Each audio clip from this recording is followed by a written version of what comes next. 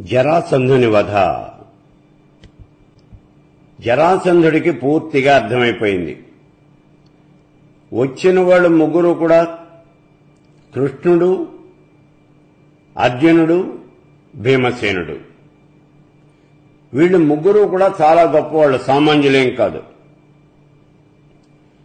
అయితే ఇందులో కృష్ణుడు నిర్మి నివసించేటటువంటి మధురా నగరం మీదికి తాను గతంలో ఇరవై ఒక్కసార్లు దండయాత్ర చేశాడు.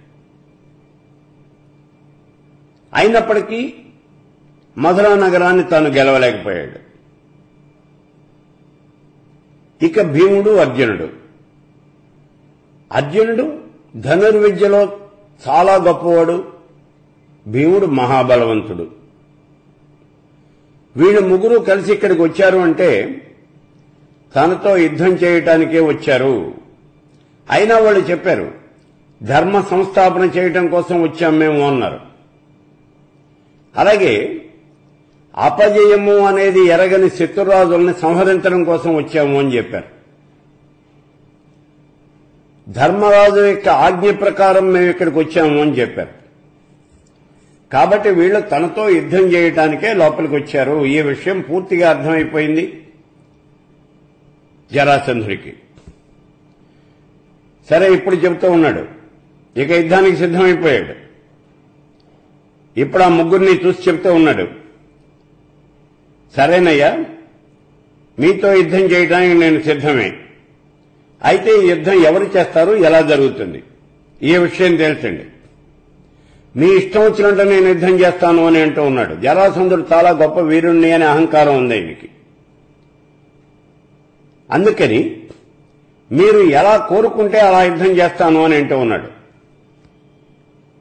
సమకట్టి సైన్యంబు సైన్యంబుతో నుండి మీ సైన్యము నా సైన్యము. ఎదురు బదులు నుంచుని యుద్ధం చేయమంటారా? నేను సిద్ధమే. తొడరి మీ మూర తోడ నుండి మీ ముగ్గురితోనూ కలిపి నేను ఒక్కడనే యుద్ధం చేయాలి అని అంటారా? అలాగే చేస్తాను.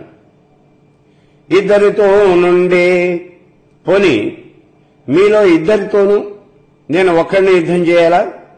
అలాగే చేస్తాను. ఎక్కడి? ఒక్కడితో నుండి. అలా కాదు. మీలో ఏ ఒక్కడితో అయినా సరే నేను యుద్ధం చేయాలి అని అంటారా? అందుకు నేను సిద్ధమే. మీ ఇష్టం. పొడిచెద దుర్బలమున ఏ ఆయుధమున నెమ్మై బోరంగా ఇష్టమయ్యేది ఉత్సహింపుడు నేను మీతో యుద్ధం చేస్తాను. ఏ ఆయుధంతో యుద్ధం చేయాలి అని అనుకుంటున్నారో అది కూడా చెప్పండి. దాంతోనే యుద్ధం చేస్తాను అన్నాడు. చూడండి జరాసంధుడికి ఎంత అహంకారం ఉన్నదో. ఇతడు చాలా గొప్ప వీరుడు. ఈ మాట మొట్టమొదట్లోనే చెప్పుకున్నాం. ఈ మహర్షి మగధ సామ్రాజ్యానికి వచ్చినప్పుడు జరాసంధుడు చిన్నపిల్లగాడుగా ఉన్నప్పుడు అక్కడ చెప్పాడు ఇతడు కుమారస్వామితో సమానమైన బలం కలిగిన వాడవుతాడు అని చెప్పాడు. ఏ ఆయుధంలోనూ కూడా ఇతడు మరణించడు అని కూడా చెప్పాడు. కైపెచ్చు ఈశ్వరుడిని గురించి ఘోరమైన తపస్సు చేసి వరాలు కూడా పొందాడు. నిత్యము భైరవ పూజ చేస్తూ ఉంటాడు. అసలే బలవంతుడు వజ్రకాయుడు అందులో పరమేశ్వరుడి యొక్క వరాలు కూడా ఉన్నాయి ఈయనకి. కాబట్టి అహంకారము అనేది కూడా ఎక్కువగానే ఉంటుంది. అందుకే చెబుతున్నాడు మీ ముగ్గురితోనూ కలిసి చేయమన్నారా?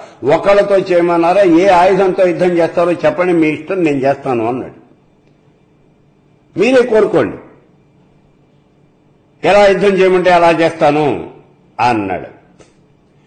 ఆ మాటలు విన్నటువంటి శ్రీకృష్ణ పరమాత్ముడు ఇప్పుడు చెబుతూ ఉన్నాడు చూడండి ఇక్కడ ఎప్పుడు ఎక్కడ మాట్లాడినా శ్రీకృష్ణుడే మాట్లాడతాడు. ఎందుకని అంటే వాక్చాతుర్యము అనేది అతనికే ఉంది మిగిలిన వాళ్ళకి లేదు. అర్జునుణ్ణి ధనుర్విద్య చూపించమంటే చూపిస్తాడు అంతేగాని వాక్చాతుర్యం చూపలేడు. అలాగే భీమసేనుడు బాహుబలాన్ని ప్రదర్శిస్తాడు అంతేగాని వాక్చాతుర్యాన్ని ప్రదర్శించలేడు. కృష్ణుడు అలా కాదు వాక్చాతుర్యాన్ని కూడా ప్రదర్శించగలడు. చాలా నేర్పరి. అందుకే అంటూ ఉన్నాడు. ఒక్కనితో బల్వరుద్ధతులై పూని యుద్ధం భుజేయుట ఉచితమగుని. ఓ జరాసన్న మహారాజా బలవంతులు విజృంభించి ఒక్కడితో యుద్ధం చేయటం అనేది ఏమన్నా ఉచితంగా ఉంటుందా? ఇది ధర్మంగా ఉంటుందా? నువ్వు ఒక్కడివే. మేము ఇంతమంది కలిసి అందులో నువ్వు బలమైన వాళ్ళం బలవంతులం మేము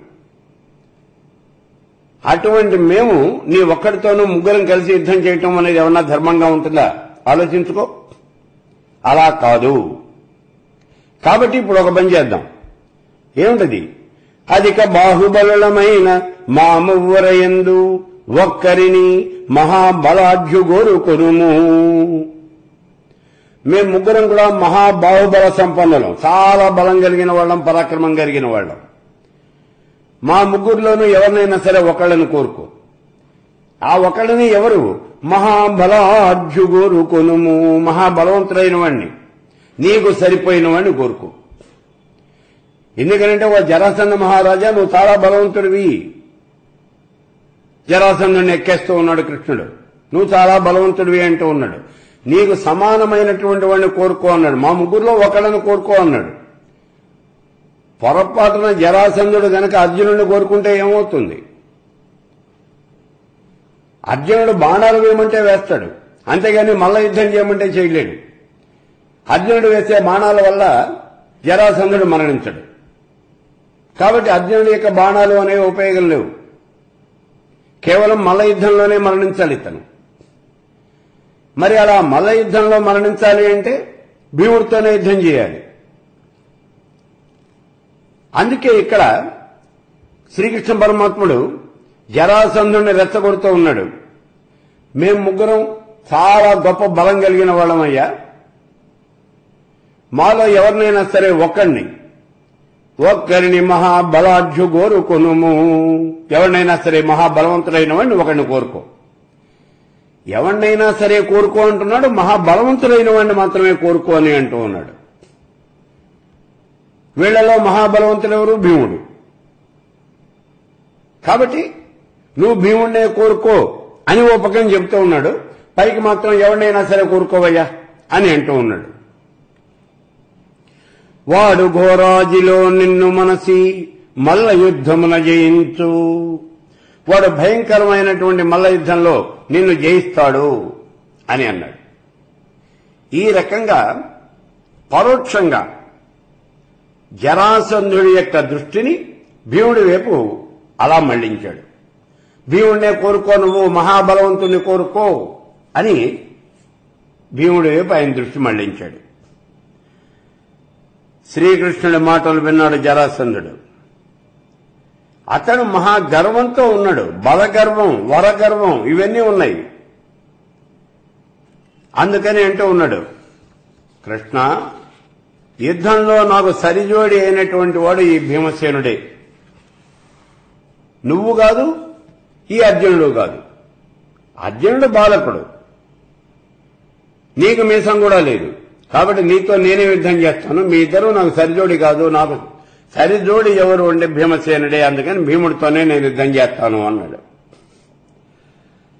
ఆ విధంగా ఈ జరాసంధుడు భీమసేనుడితోనే మల్ల యుద్ధం చేయాలి అని నిశ్చయించుకున్నాడు. నిశ్చయించుకుని ఇతని యొక్క ముందు చూపు ఎంతవరకు ఉన్నదో చూడండి. ఈ జరాసంధుడి యొక్క కుమారుడు సహదేవుడు. ముందు ఆ సహదేవుణ్ణి తీసుకొచ్చి మగధ రాజ్యానికి పట్టాభిషక్తుడిగా చేశాడు. అంటే యుద్ధంలో తప్పనిసరిగా తానే గెలుస్తాను అనే నమ్మకం అనే జరాసంధుడికి ఏం లేదు. జరగబోయేది భీముడితో మల్ల యుద్ధం. ఆయుధాల వల్ల ఇతనికి మరణం లేదు. అదే అర్జునుడిని కనుక కోరుకుని ఉంటే తప్పనిసరిగా జరాసంధుడే గెలిచేవాడు. కానీ అతడు కోరుకోవాలా? ఎందుకని అంటే గర్వం. ఎలా అయినా సరే గెలిచి తీరతాను అనే గర్వం అతనికి. అందుకే అతను కోరుకోవాలా? భీముడిని కోరుకున్నాడు. భీముడితో జరగబోయేది మల్ల యుద్ధం. ఆయుధాలతో యుద్ధం చేస్తే ఇతనికి జయం తథ్యము అని ఈశ్వరుడు వరం ఇచ్చాడు అంతేగాని మల్ల యుద్ధంలో నువ్వు తప్పనిసరిగా జయిస్తావు అని ఈశ్వరుడేం వరం ఇలా కాబట్టి ఇక్కడ మరణం సంభవించవచ్చు అనుమానం. గెలుస్తాడు అనే నమ్మకం ఏమీ పూర్తిగా లేదు. అందుకని సావుకైనా సిద్ధమయ్యాడు ఇప్పుడు. అలా సిద్ధమయ్యి ఎందుకైనా మంచిది అని ముందు చూపుగా తన కుమారుడైనటువంటి సహదేవుని తీసుకొచ్చి పట్టాభిషేకం చేశాడు. అంటే జరాసంధుడు తప్పనిసరిగా ఈ యుద్ధంలో ఓడిపోతాడు మరణిస్తాడు అనే సంగతి అతడికి కూడా తెలుసు. అలా తెలిసి తన కుమారుడికి పట్టాభిషేకం చేసి ఇప్పుడు యుద్ధానికి కదిలాడు. అప్పుడు బలియుడు అప్పుడు వెంట్రుకలు పాచి ముడిచి గంటసగ దాల్చి వీరరసిక వృత్తి ఉద్ధతుండు మల్లయుద్ధ ప్రాసాదనంబు అమర నిలిచి వేట్ట అమిత బలుడు.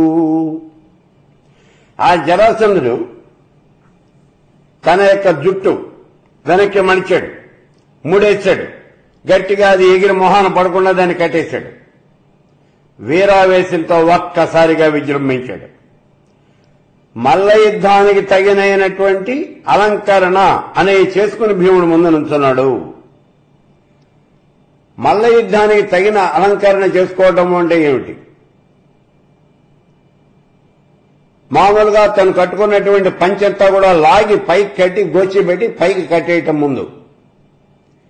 అది ఏమాత్రము కూడా అడ్డుపడకుండా పైకి కట్టేసుకుని అలాగే నెత్తి మీద ఉన్న జుట్టంతా కూడా వెనక్కి మొహానికి అడ్డం పడకుండా దాన్ని గట్టిగా కట్టేసుకుని ఇప్పుడు వచ్చి భీమసేనుడి ముందు నుంచున్నాడు. సరే ఇక భీమసేనుడు కూడా జరాసంధుడికి ఆశ్చర్యం కలిగేట్టుగా మల్ల యుద్ధానికి సిద్ధమైపోయాడు. ఇతను కూడా పంచం లాగి మనిషి పైకెడేశాడు. సిద్ధమయ్యాడు. జరాసంధుడు ఎదురకుండా నుంచున్నాడు. ఇప్పుడు మల్ల యుద్ధం ప్రారంభం కాబోతూ ఉన్నది మల్లయుద్ధ సంప్రదాయం ప్రకారం వాళ్ళిద్దరూ కూడా గోదాలోకి వచ్చి నుంచున్నారు. ఈ మల్లయుద్ధం చేస్తూ ఉన్నారు అంటే ఎక్కడో నడి రోడ్డు మీద వీళ్ళు యుద్ధం చేయటంలా దానికోసం ప్రత్యేకంగా ఏర్పాటు చేయబడినటువంటి ప్రదేశం దాన్నే గోదా అని అంటారు. మల్ల యుద్ధం చేసే ప్రదేశాన్ని గోదా అని అంటారు. ఆ గోదాలోకి వచ్చారు ఇద్దరు కూడా. ఇక్కడ సంప్రదాయం ఏమిటి అంటే ఎటువంటి వీరుడైనా సరే గోదాలో కాలు పెట్టేటప్పుడు ముందుగా ఆ భూమికి కళ్ళకద్దుకుని నమస్కారం చేస్తాడు. ఇది సంప్రదాయం. మల్ల యుద్ధంలో తప్పకుండా దీన్ని పాటిస్తాడు.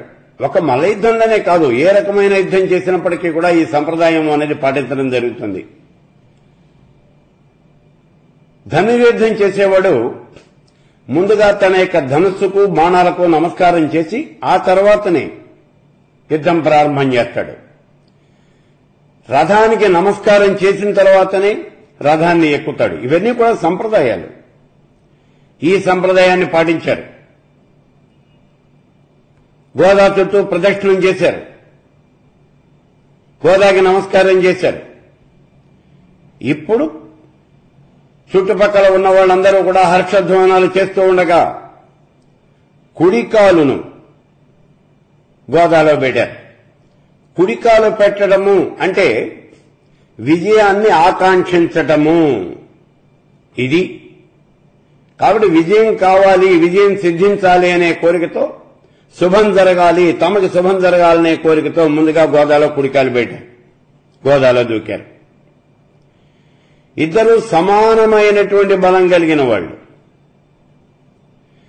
సమసత్వాతిశయుల్ వృకోదర జరాసంధులు. మహోజ్జత్ పరాక్రమముప్పంగ కడుగెల్గి ఒండరుల చుల్కందాకిరి. మహాపరాక్రమం కలిగినటువంటి జరాసంధుడు వృకోదరుడు ఇద్దరు కూడా అఖండమైనటువంటి పరాక్రమంతో చాలా గొప్పదైనటువంటి పెళ్ళుబుకినటువంటి పరాక్రమంతో ఒకళ్ళని ఒకళ్ళు చాలా తేలికగా ఎదుర్కొంటూ ఉన్నారు. అన్యోన్యదుర్గమ దోదండ పటు ప్రహార జనితాధ్వానంబు బ్రహ్మాండ భాండము నిండన్ వాళ్ళిద్దరూ కూడా యుద్ధానికి కలబడి ఈ మల్ల యుద్ధం చేస్తూ ఒకళ్ళని ఒకళ్ళు కొట్టుకుంటూ ఉంటే వాళ్ళ బాహుదండముల నుంచి వినిపించే తీవ్రమైనటువంటి దెబ్బల యొక్క ధ్వని ఆ బ్రహ్మాండం అంతా కూడా నిండిపోతూ ఉన్నది. అటువంటి భయంకరమైనటువంటి ధ్వని అనేది వస్తూ ఉన్నది. ఒకళ్ళని ఒకళ్ళు చేతులతో చూసుకుంటూ ఉన్నారు కొట్టుకుంటూ ఉన్నారు. ఆ ధ్వని ఎలా ఉన్నది అంటే లయకాల దండధర చెండ క్షోభమో నా జనుల్ మితిమీరినటువంటి కోపంతో వాళ్ళిద్దరూ కొట్టుకుంటూ ఉంటే ప్రళయకాలంలో యముడి వల్ల ఏర్పడినటువంటి అల్లకల్లోలమా ఈ శబ్దం అంతా అని ఆశ్చర్యపోతూ ఉన్నారు నగరంలో ఉన్నటువంటి ప్రజలంతా కూడా. అంత భయంకరంగా వీళ్ళిద్దరూ కూడా యుద్ధం చేస్తూ ఉన్నారు. క్రమక్రమంగా యుద్ధం తీవ్ర రూపం దాలుస్తూ ఉన్నది. కర్షిత రిపులు అన్యోన్యాకర్షణ సంకర్షణాపకర్షణమ్ముల సామల్సులై బెనగిరి ఆహవహర్షంబున పవనసుత బృహద్రథ పుత్రుల్ పరస్పరం కలియబడ్డారు వీళ్ళిద్దరూ కూడా. భీముడు జరాసంధుడు. అలా కలియబడి ఒకళ్ళని ఒకళ్ళు లాక్కుంటూ ఉన్నారు. ఒకళ్ళని ఒకళ్ళు పట్టుకోవాలి చేతులతో నలిపేయాలి అని ప్రయత్నాలు చేస్తూ ఉన్నారు. ఒకళ్ళని ఒకళ్ళు అవతలికి నెట్టేయాలి అని తోసేయాలి అని ప్రయత్నం చేస్తూ ఉన్నారు. ఇలా అతిశయించినటువంటి కోపంతో యుద్ధోత్సాహంతో మితి మీరినటువంటి ఉత్సాహంతో ఈ పోరాటము అనేది సాగిస్తూ ఉన్నారు. ఇలా సాగుతూ ఉన్నటువంటి వాళ్ళ యుద్ధం వ్యాయామ కర్కశ స్థిరకాయుల యుద్ధము. వీళ్ళ యొక్క యుద్ధం. ఎవరు వీళ్ళు? అతిగా వ్యాయామం చేసి రాయిలాగా వీళ్ళ శరీరము అనేది తయారైపోయింది. అటువంటి రాయి లాంటి చాలా కఠినమైనటువంటి దేహం వ్యాయామం చేసి దేహాన్ని కఠినంగా చేసుకున్నటువంటి వీళ్ళ యొక్క యుద్ధం. వ్యాయామ కర్కశ స్థిరకాయల యుద్ధము భయానకం బయ్యే. మహోగ్రాయిత పరిఘాయిత కఠినాయిత భుజండ దారుణాఘాతములన్ వాళ్ళు చేస్తూ ఉన్నటువంటి ఈ యుద్ధం క్రమక్రమంగా పెరిగిపోతూ ఉన్నది. వ్యాయామం చేత బాగా గట్టిపడినటువంటి శరీరాలు గడిగినటువంటి రాళ్ళలాగా అయిపోయినటువంటి శరీరాలు గల ఆ భీముడు జరాసంధుడు ఇద్దరు కూడా భయంకరమైనటువంటి మల్ల యుద్ధం చేస్తూ ఉంటే ఈనప గుదియల్లాగా ఉన్నాయిట వాళ్ళ బాహుదండాలు. ఆ బాహుదండాలతో ఆ చేతులతో ఒకరిని ఒకరు బాదుకుంటూ ఉంటే కొట్టుకుంటూ ఉంటే చూసే వాళ్ళకి ఆ శబ్దం వినే వాళ్ళకి కూడా అంత అత్యంతమైనటువంటి భయానకంగా ఉన్నది ఆ దృశ్యం అంతా కూడా. యుద్ధం క్రమం క్రమంగా చాలా భీకరంగా మారిపోతూ ఉన్నది. క్షణ క్షణానికి వాళ్ళ కోపం అనేది పెరిగిపోతూ ఉన్నది. ఎదుటి వాళ్ళని జయించాలి అనే కాంక్ష ఇద్దరిలోనూ కూడా బాగా పెరిగిపోతూ ఉన్నది. ఇద్దరూ సమానమైన బలం కలిగే వాళ్ళే. ఎవరు ఇందులో తక్కువ వాళ్ళు కాదు. జరాసంధుడు అమితమైన బల పరాక్రమాలు కలిగిన వాడు. అలాగే భీమసేనుడు. మహాబలుడు ఈ భీముడు కూడా. అందుకే ఇద్దరు సమానమైన బలం కలిగిన వాళ్ళు. అతుల బలుల్ పరస్పర జయార్థులు పార్థివ పుంగవుల్. మరుత్సుత మగధేశ్వరుల్ సమరసూరులు దారుని లీలబోరిది. పూజ్యిత భుజదర్పమేర్పడగ సింహ గజేంద్రములట్లు. వజ్ర పర్వతముల ఎట్లు ఘోరతర వాసవ వృత్తుల ఎట్లు ఇద్దరు వాళ్ళిద్దరు కూడా మహాబలం గలవాళ్ళు సాటి లేనటువంటి బలం కలిగిన వాళ్ళు ఒకళ్ళని ఒకళ్ళు జయించాలి అనే యుద్ధ కాంక్షతో జయ కాంక్షతో రాజశ్రేష్ఠులు యుద్ధ వీరులు అయిన ఈ భీముడు జరాసంధుడు ఇద్దరు కూడా. వీళ్ళిద్దరూ కూడా యుద్ధం చేస్తూ ఉన్నారు. భుజదర్పమేర్పడగా వాళ్ళ యొక్క బలాలు అన్ని కూడా ప్రదర్శిస్తూ ఉన్నారు బల ప్రదర్శన చేస్తూ ఉన్నారు. యుద్ధం చేస్తున్నారు. ఎలా? సింహ గజేంద్రముల ఎట్లు. సింహము ఏనుగవు ఈ రెండు యుద్ధం చేస్తే ఎలా ఉంటుందో అలా యుద్ధం చేస్తూ ఉన్నారు. వజ్ర పర్వతముల ఎట్లు కఠినమైనటువంటి పర్వతాలు రెండు ఒక్కసారిగా ఢీకుంటే ఎలా ఉంటుందో అలా ఉన్నది యుద్ధం అనేది. ఘోరతర వాసవ వృత్తుల ఎట్లు ఇద్దరు. వాసవుడు అంటే ఇంద్రుడు వృత్రుడు అంటే వృత్తాసురుడు. ఇంద్రుడు వృత్రాసురుడు యుద్ధం చేస్తే ఏ రకంగా ఉన్నదో ఆ రకంగా వీళ్ళిద్దరూ కూడా యుద్ధం చేస్తూ ఉన్నారు. ఈ యుద్ధము అనేది చాలా భయంకరంగా మారిపోయిందన్నమాట. ఇలా భయంకరమైన యుద్ధం సాగుతూ ఉన్నది. ఈ యుద్ధం కార్తీక శుద్ధ పౌర్ణమి పాడ్యమి రోజున ప్రారంభమైంది. కార్తీక శుద్ధ పాడ్యమి రోజున ప్రారంభమైంది ఈ యుద్ధం. అప్పటి నుంచి అలా యుద్ధం చేస్తూనే ఉన్నారు. అహోరాత్రులు యుద్ధం చేస్తూనే ఉన్నారు. చూడండి వాళ్ళు ఎంత బలం కలిగిన వాళ్ళు. ఇలా యుద్ధం ఎంతకాలం జరిగింది అంటే త్రయోదశి వరకు జరిగింది. పదమూడు రోజుల పాటు యుద్ధం జరిగింది. బ్రహ్మాండమైనటువంటి యుద్ధం జరిగింది. ఒకళ్ళనొకళ్ళు పట్టుకుంటున్నారు కింద పడేస్తున్నారు మీదకి ఎక్కుతూ ఉన్నారు అవతల వాడిని తోస్తూ ఉన్నారు ఎక్కుతూ ఉన్నారు తంతూ ఉన్నారు కొడుతూ ఉన్నారు. ఇలా ఎడతెగకుండా మహాభయంకరమైనటువంటి యుద్ధం చేస్తూ ఉన్నారు.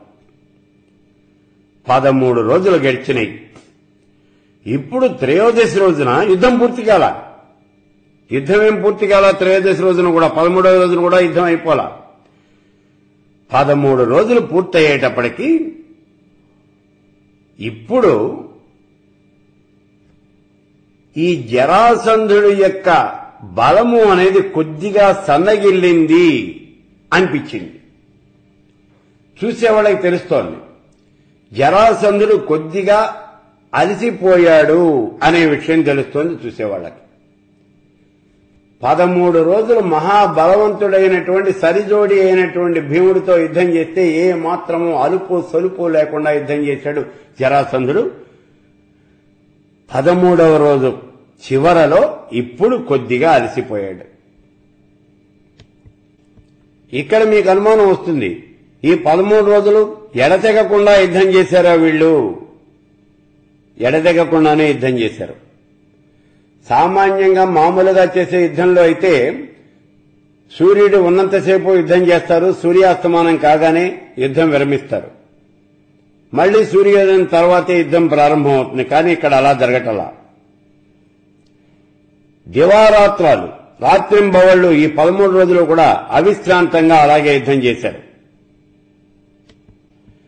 సంస్కృతంలో వ్యాస భగవానుడు చెబుతూ ఉన్నాడు చూడండి. అనారతం దివారాత్రం అవిశ్రాంతం అవర్తత అని చెప్పాడు. అంటే విశ్రాంతి అనేది లేకుండా అనారతం దివారాత్రం అవిశ్రాంతం. విశ్రాంతి అనేది లేకుండా పగలు రాత్రి మొత్తం ఈ పదమూడు రోజుల పాటు అలాగే యుద్ధం జరిగింది. అందుకే ఇందాక మనం చెప్పుకున్నాం ఎడతెగకుండా ఈ యుద్ధము అనేది పదమూడు రోజుల పాటు జరిగింది అన్నాం. ఇప్పుడు పదమూడవ రోజు రాత్రికి జరాసంధుడి యొక్క బలము అనేది కొద్దిగా సన్నగిల్లింది. అతడిలో అలసట అనేది కనిపించింది. పక్కనే నుంచుని యుద్ధం చూస్తూ ఉన్నటువంటి శ్రీకృష్ణ పరమాత్ముడు సలహా చెప్పేవాడు ఆయనే. ఆయన చెబుతూ ఉన్నాడు ఇప్పుడు భీముడితో. ఓ భీమసేన విరహిత సత్తుడయ్యే ప్రతి వీరుడు నీ శత్రువు జరాసంధుడు బలహీనుడయ్యాడయ్యా. విరహిత సత్వుడయ్యే ప్రతి వీరుడు వీనిని అశేషధారుణీశ్వర నికరాపరాధు అతి సాహసుకున్ వధించి నీ భుజస్థిరత ఎలర్ప అయ్యన్న దేవు బలంబును నీ బలంబు భాసురముగా మాకు చూపుము విశుద్ధ యశోనిధి మారుతాత్మయ ఓ వాయుపుత్ర భీమసేన నీ శత్రువుడైనటువంటి ఆ జరాసంధుడు కాస్త బలహీనపడ్డాడయ్యా. వీడు ఎలాంటి వాడు అంటే అశేషధారుణీశ్వరం నికర అపరాధు అతి సాహసకుడు. లోకంలో ఉన్న రాజ సమూహాలకన్నింటికీ కూడా అపకారం చేసినవాడు మితిమీరినటువంటి సాహసం కలిగిన వాడు. వీడు అతి సాహసకుండు. అటువంటి వాణ్ణి వధించి వాడిని కాస్త చంపే ఇప్పుడు. నీ భుజ బలం యొక్క చెక్కు చెదరనటువంటి స్థితి మాకందరికీ కనిపించేట్టుగా నీ బలం నీ తండ్రి అయినటువంటి వాయుదేవుడి యొక్క బలము రెండూ కూడా ప్రస ప్రకాశించేట్టుగా మాకు చూపించవలసింది ఇతన్ని సంహరించవలసింది అన్నాడు అతి సాహసకున్వధించి వీణ్ణి చంపి నీ బలం ఏమిటో నీ సత్తా ఏమిటో నీ తండ్రి యొక్క బలం ఏమిటో మా అందరికీ చూపించవయ్యా. అతన్ని వెంటనే చంపేయి అన్నాడు కృష్ణుడు ఈ మాట చెప్పగానే భీమసేనుడు తన మనసులో తండ్రి అయిన వాయుదేవుణ్ణి దలుచుకున్నాడు ఆ వాయుదేవుడి యొక్క అనుగ్రహంతో భీముడి యొక్క బలము అనేది రెట్టింపైపోయింది. ఇప్పుడు ఈ భీమసేనుడు జరాసంధుణ్ణి రెండు చేతులు పట్టుకున్నాడు వాడి కాళ్ళు పట్టుకున్నాడు రెండు చేతులతోనూ ఒక్కసారిగా అనూహ్యంగా వాడిని పైకి లేవదీశాడు. రెండు కాళ్ళు పట్టుకుని పైకెత్తేశాడు. అతని బట్టి ఎత్తి నేతాహిత వీరుడు వాని ముక్కునన్ వాతను కర్ణరంధ్రముల వారక శోణిత ధారలొల్కగా వాతసుతుండు వీచ శతవారము లుద్ధత చెండవాత సంఘాత వివర్తమాన తృణకండ సముండవు చుండమాగధున్ రెండు కాళ్ళు పట్టుకుని గిరా గిరా గిరా తిప్పి నేరకేసుకొచ్చాడు. వంద సార్లు తిప్పాడు. గిరా గిరా గిరా గిరా. చేతిలో ఉన్నటువంటి ఒక చిన్న కర్ర ముక్కని తిప్పినట్టుగా గిరగిరగిరగిరగా తిప్పేసి నేలకేసి కొట్టాడు. ఈ తిప్పడం కూడా నూరు సార్లు తిప్పాడు. ఆ తిప్పేటప్పటికి ఏమైంది? ఎప్పుడైతే మనం ఇతన్ని పట్టుకుని గిరగిరా పైకి పెట్టి అలా తిప్పుతూ ఉన్నామో శరీరంలో ఉన్నటువంటి రక్తం అంతా కూడా ముక్కంబడి నోటంబడి చెవల ఎందు అలా నవరంధ్రముల నుంచి కూడా ఈ రక్తం అనేది అలా స్రవిస్తుంది అంతే రక్తం ధారలుగా బయటకు వచ్చేస్తుంది. భయంకరమైనటువంటి పెనుగాలి తాకిడికి తిరగబడుతూ ఉన్నటువంటి గడ్డి పరకతో సమానంగా అతన్ని ఎత్తి గిరగిర చెప్పి నేరకేసి బాధేశాడు. అలా విసిరి వేసేటప్పటికీ ఈ జరాసంధుడు నేల మీద పడిపోయాడు ఇంకా లేవలేదు.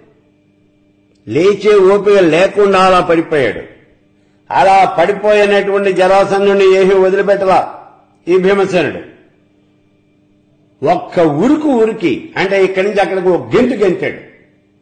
జరాసంధుడు పడ్డతోటికి అలా గెంతి జరాసంధుడిని మళ్ళీ పట్టుకున్నాడు. అలా పట్టుకున్నటువంటి వాడై వెరిచరచ పట్టుకొని జరాసంధు సంధి సంధముల ఎమ్ముల్ విరచి వధించి ఆర్చెను. మెడకాయ పట్టుకుని అట్లా పైకి లేపాడు. బోర్లా పడిపోయినాడు జరాసంధుడు. మెడకాయ పట్టుకుని అట్లా పైకి లేపాడు. లేపు ఒక్క దెబ్బ కొట్టాడు. లాగి పెట్టి వీపంలో ఒక్క దెబ్బ వేశాడు. మళ్ళీ వేశాడు మళ్ళీ వేశాడు. ఇట్లా రెండు దెబ్బలు వేసేటప్పటికి వాడి కీళ్ళన్నీ కూడా విరిగిపోయినాయి. అలా ఆ జరాసంధుడి యొక్క కీళ్ళలో ఉన్న ఎముకలన్నీ కూడా శరీరంలో ఉన్న ఎముకలన్నీ కూడా విరిచి అవతల పారేశాడు. అలా విరిచి జరాసంధు సంధి సంధులు ఎమ్ములు విరిచి వధించి ఆచ్యను వరలగ భీముండు భువన వలయం భద్రువన్. ఈ భూమండలం అంతా కూడా ధరామండలం అంతా కూడా దద్దరిల్లేలాగా ఒక్క కేక పెట్టాడు. విజయధ్వానం చేశాడు. జరాసంధుణ్ణి సంహరించాను అనే ఆనందంతో ఒక్క కేక పెట్టాడు. ఆ దెబ్బకి మగధ దేశంలో ఉన్నటువంటి ప్రజానీకం అంతా కూడా తలడిల్లిపోయింది. భయంకరమైనటువంటి కేక వేశాడు ఈ భీమసేనుడు. దాంతో ఆ రాజ్యంలో ఉన్న ప్రజలంతా కూడా చాలా భయపడిపోయారు. ఆ శబ్దం విని వాళ్ళంతా అనుకుంటూ ఉన్నారు. చాలా భయంకరంగా ఉంది ఆ కేక. అవనితలంబురస్యనో హిమాచల శృంగంబు వ్రయలయ్యనో భూమి బద్దలైపోయిందా? లేకపోతే హిమాలయ పర్వతం అంతా కూడా ముక్కలు ముక్కలైపోయిందా? ఏమైంది? శ్రవణ విదారణంబైన శబ్దము దానిది ఏమి ఒక్కో?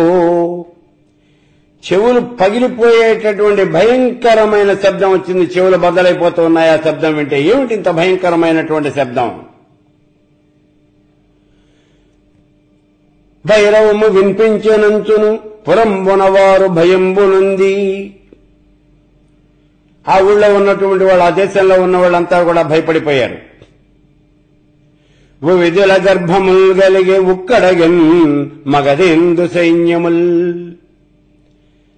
గర్భవతుల యొక్క గర్భంలో ఉన్న పిండాలన్నీ కూడా కలత చెందినాయి. ఆ దెబ్బకి మగధ సైన్యాలన్నీ కూడా బలహీన పడిపోయినాయి వాళ్ళంతా భయపడిపోయి రెండు చేతులు జోడించేశారు. చూడండి ఈ జరాసంధుడు మరణించేటప్పటికీ జరాసంధుడిని చంపి భీముడు పెద్దగా కేకబెట్టాడు. వెరచరవబట్టుకుని వడి సరచి జరాసంధు సంధి సంధుల జుమ్ములు విరిచి వధించి ఆచ్యను భీముండు ఒక్క కేకబెట్టాడు ఆ కేక విని అవని తలంబు వ్రస్యను హిమాచల శృంగంబు వ్రజలయ్యను శ్రవణ విదారణంబైన శబ్దము దానిది ఏమి ఎక్కువ భైరము ఇంచనంచున్ పురంబున వారు భయంబు వందిరి.